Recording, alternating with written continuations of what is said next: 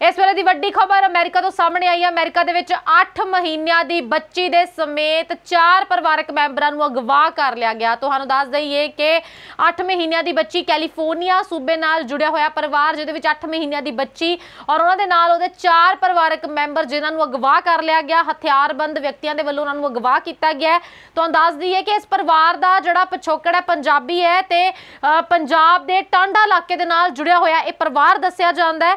ਅਧਿਕਾਰੀਆਂ ਨੇ ਵੀ ਦੱਸਿਆ ਕਿ ਅਗਵਾ ਕੀਤੇ ਗਏ ਚਾਰ ਲੋਕਾਂ ਦੇ ਵਿੱਚ 8 ਮਹੀਨੇ ਦੀ ਬੱਚੀ, ਉਹਦੇ ਮਾਤਾ-ਪਿਤਾ ਸ਼ਾਮਲ ਨੇ ਔਰ ਔਰ ਮਸਟਰਡ ਕਾਉਂਟੀ ਸ਼ੈਰਿਫ ਦੇ ਦਫ਼ਤਰ ਦੇ ਸੋਮਵਾਰ ਨੂੰ ਇੱਕ ਬਿਆਨ ਜਾਰੀ ਕੀਤਾ ਬਿਆਨ ਜਾਰੀ ਕਰਦੇ ਹੋਇਆ ਕਿਹਾ ਕਿ ਜਿਹੜੇ ਪਰਿਵਾਰਕ ਮੈਂਬਰ ਇਹਦੇ ਵਿੱਚ ਜੁੜੇ ਹੋਏ ਨੇ, ਉਹਨਾਂ ਵਿੱਚ 36 ਸਾਲਾ ਜਸਦੀਪ ਸਿੰਘ 27 ਸਾਲਾ ਜਸਲੀਨ ਕੌਰ ਤੇ ਉਹਨਾਂ ਦੀ 8 ਮਹੀਨੇ ਦੀ ਬੱਚੀ ਅਰੋਹੀ ਤੇ 39 ਸਾਲਾ ਅਮਨਦੀਪ ਸਿੰਘ ਨੂੰ ਅਗਵਾ ਕਰ ਲਿਆ ਗਿਆ। ਅਗਵਾ ਕੀਤੇ ਜਾਣ ਦਾ ਹਜੇ ਤੱਕ ਕਾਰਨ ਜਿਹੜਾ ਹੈ, ਨਹੀਂ ਪਤਾ ਲੱਗਾ ਔਰ ਅਗਵਾ ਕੀਤਿਆਂ ਨੂੰ ਵੀ 24 ਘੰਟਿਆਂ ਤੋਂ ਉੱਪਰ ਦਾ ਸਮਾਂ ਹੋ ਗਿਆ ਤੇ ਹਜੇ ਤੱਕ ਜਿਹੜਾ ਪਰਿਵਾਰ ਹੈ, ਉਹ ਕਿਸੇ ਨੂੰ ਵੀ ਨਹੀਂ ਮਿਲਿਆ। ਪੁਲਿਸ ਜਿਹੜੀ ਹੈ, ਮੌਕੇ ਦੇ ਉੱਤੇ ਪਹੁੰਚ ਕੇ ਜਾਂਚ ਪੜਤਾਲ ਕਰ ਰਹੀ ਹੈ। ਤਲਾਸ਼ੀ ਮੁਹਿੰਮ ਜਿਹੜੀ ਜਾਰੀ ਹੈ, ਪਰ ਹਜੇ ਤੱਕ ਪਰਿਵਾਰ ਦਾ ਪਤਾ ਨਹੀਂ ਲੱਗਿਆ ਤੇ ਅਗਵਾ ਕੀਤੇ ਜਾਣ ਦਾ ਕਾਰਨ ਵੀ ਨਹੀਂ ਪਤਾ ਲੱਗਾ। ਇਸ ਵੇਲੇ ਦੀ ਵੱਡੀ ਖਬਰ ਅਮਰੀਕਾ ਤੋਂ।